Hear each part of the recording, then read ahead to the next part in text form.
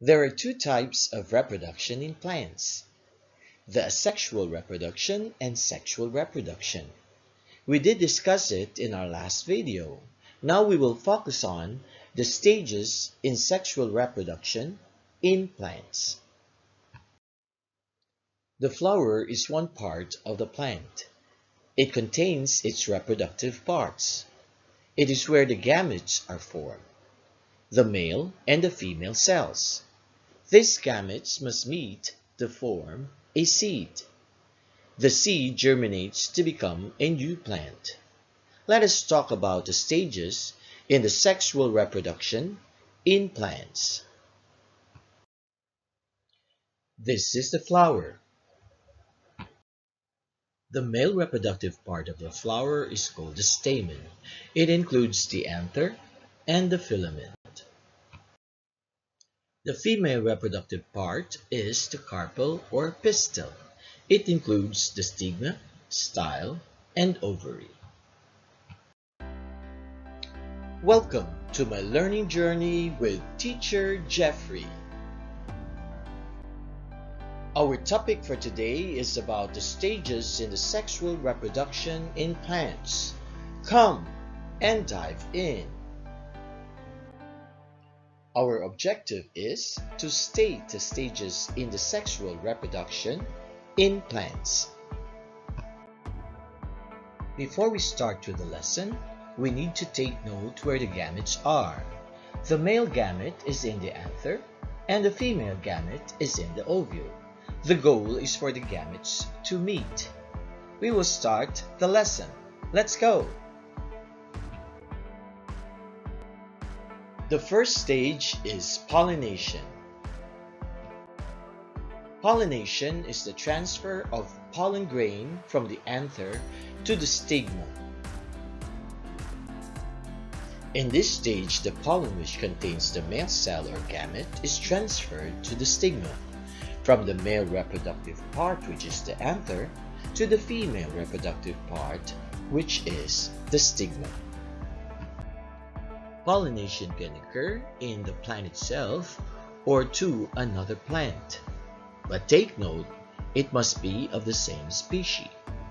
When it occurs within a plant, it is called self-pollination. But when it occurs to another plant of the same species, it is called cross-pollination.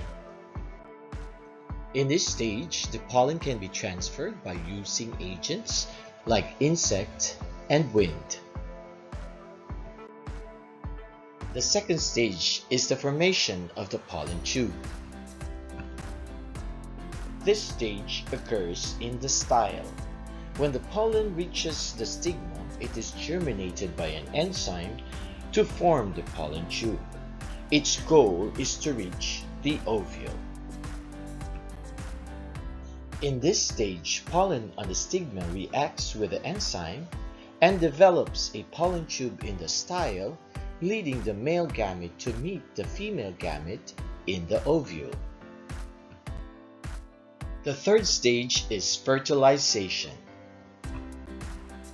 This will occur in the ovule. In this stage, the male gamete meets and fuses with a female gamete to form a zygote. The fourth stage is the formation of seed and fruit. In this stage, the ovule where fertilization occurs becomes the seed, and the ovary will become the fruit. As it develops, the other parts of the flower will wither and fall into the ground. An example is the tomato fruit. The fruit part which is juicy and fleshy is once the ovary, and where the seeds are is once the ovule. The fifth stage is seed dispersal.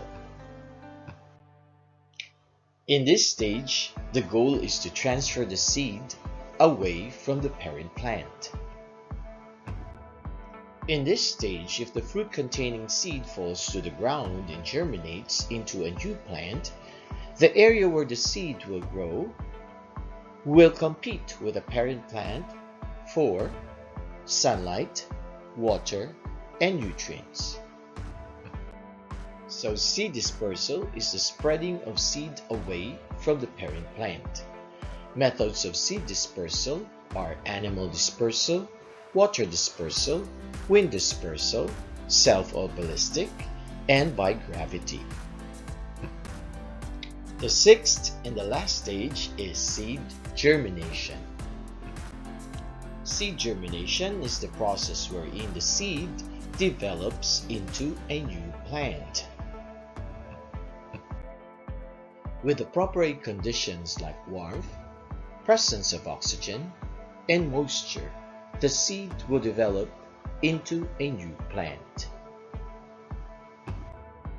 For our summary, the stages in plant sexual reproduction are 1. Pollination 2. Formation of pollen tube 3. Fertilization 4th. Formation of seed and fruit 5th. Seed dispersal and lastly, 6th. Seed germination. For a quick check, write your answers in the comments below. State the stages in the sexual reproduction in plants. Don't forget to click like and subscribe. Hit that notification bell for our upcoming videos. Please do not forget to share this video to your friends if it gives value to you. Always remember, a goal without a plan is just a wish. This is Teacher Jeffrey. Bye for now.